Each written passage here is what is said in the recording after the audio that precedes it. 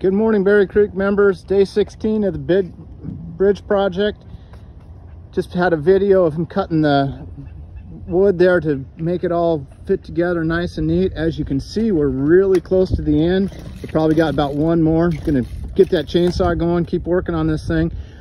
Um, after they're done with the bridge, what they're saying is gonna be on Thursday. Yep, here we go, some more chainsaw.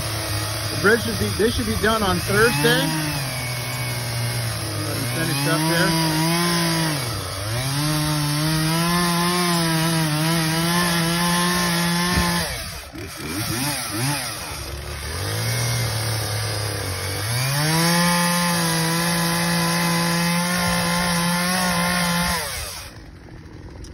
They're saying they're going to be done with everything on Thursday. Then right behind that, uh, crew will have to come in and fix the concrete and tie that into the bridge.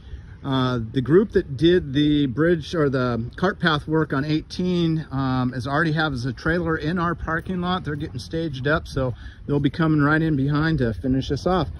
Hope everybody's staying healthy and safe and have a fantastic day.